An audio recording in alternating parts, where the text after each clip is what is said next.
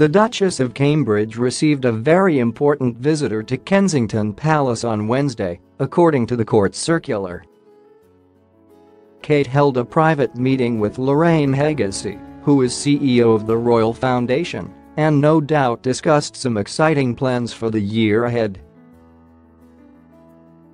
The cause, which is spearheaded by Kate and husband Prince William and the Duke and Duchess of Sussex, aims to fight challenges across subjects such as mental health, bullying, conservation and wildlife, addiction and the armed forces communities. Following the meeting, Lorraine tweeted to raise awareness of the upcoming Endeavour Fund Awards, which Harry and Meghan are confirmed to be attending on February 7. These are the best awards full of amazing achievements, she wrote. While William has attended in the past with his younger brother, we have yet to see Kate at the event, which celebrates the achievements of wounded, injured and sick servicemen and women. The Fab Four are known to work together very closely on Royal Foundation projects and have attended a number of events together since Meghan joined the family.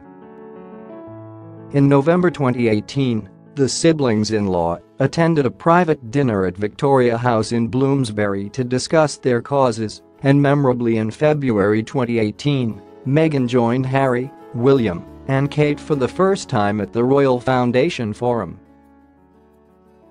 No doubt Kate and Lorraine had plenty to chat about.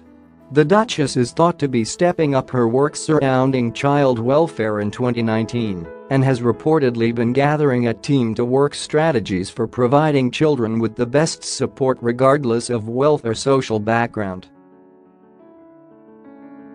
In a speech during a visit to the Reach Academy in London in 2018, she said, We all know how important childhood is and how the early years shape us for life.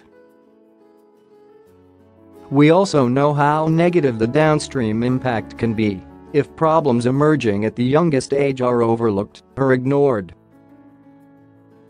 It is therefore vital that we nurture children through this critical early period. We're sure we'll find out more about our secret meeting soon.